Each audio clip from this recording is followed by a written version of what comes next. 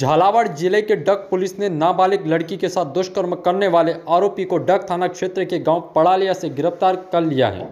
DSP Prem Kumar Chaudhary ने media को जानकारी देते हुए बताया कि डक थाने पर एक गाँव की नाबालिग लड़की ने अपने परिजनों के साथ आकर डक थाने पर बताया कि उसके सौतेले पिता ने उसके साथ दुष्कर्म किया, जिस पर डग एसएचओ अमरनाथ जोगी ने पास्को एक्ट एवं अन्य धाराओं में मामला दर्ज किया, जिसकी जाँच डीएसपी प्रेम कुमार चौधरी कर रहे हैं। जिसमें आरोपी पिता प्रताप सिंह, पुत्र पर्वत सिंह, निवासी पड़ासली को डग पुलिस ने गिरफ़्तार कर लिया वहीं आरोपी क्षेत्र का पुराना हिस्ट्री शूटर भी बताया जा रहा है, जिसके ऊपर कई गंभीर मामले दर्ज हैं। फ़िलहाल पुलिस ने आरोपी को गिरफ़्तार कर लिया है। वहीं डग से धर्म सिंह की रिपोर्ट।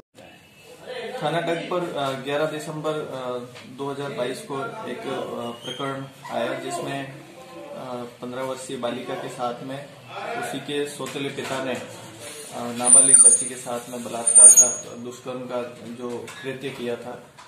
तो इस पर थाना डग पर मुकदमा दर्ज किया गया। प्रकरण में भारतीय दंड संहिता के साथ साथ पोक्सो एक्ट जेजे एक्ट और एस सी की धाराओं के अंतर्गत मुकदमा दर्ज था। प्रकरण का अनुसंधान मेरे द्वारा ही किया गया। और दौरान अनुसंधान जो आरोपी है प्रताप सिंह सनो परबत सिंह, ग्राम पड़ासली उस आरोपी को गिरफ़्तार किया गया।